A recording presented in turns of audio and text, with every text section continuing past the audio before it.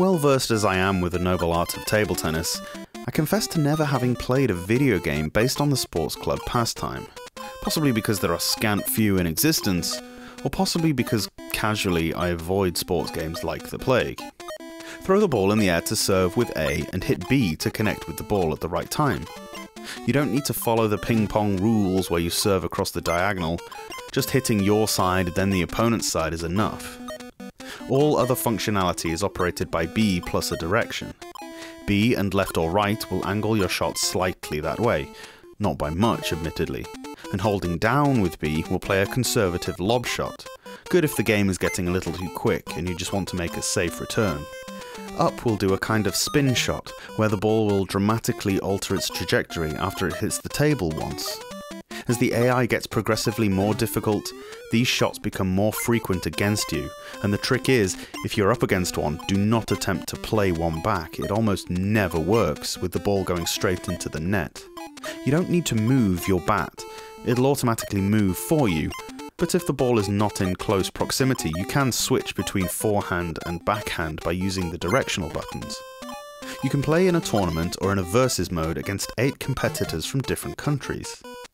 Each game is first to 11 points, and the match is best of 3 games. Tournament mode takes you through countries in order from Poland to China. Beating the lot of them lets you play against the Grand Champion, a panda, in a surprise twist that definitely no one saw coming. After each victory, you get a 4 digit password, so don't feel like you have to plough through them all in one sitting. Entering 1199 on the password screen gives you access to a rudimentary stopwatch, the reason for which I have no idea, but it's there. The graphics are pretty effective, you're just a bat yourself, but the opponents are varied in design with praiseworthy animation throughout.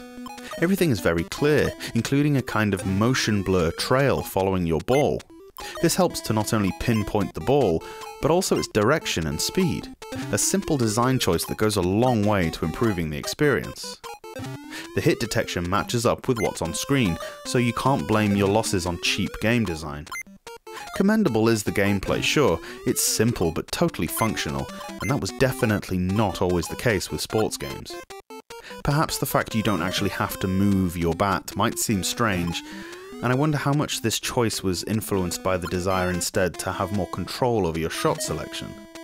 The controls are straightforward, but allow you to develop plenty of skill, and the difficulty curve in tournament mode is absolutely perfect. The AI have different levels of aggression too. The character representing China basically smashes every shot, which, if you've ever seen them at the Olympics, you know how accurate that is meaning you're going to have to be super defensive and hold your nerve until an opening appears.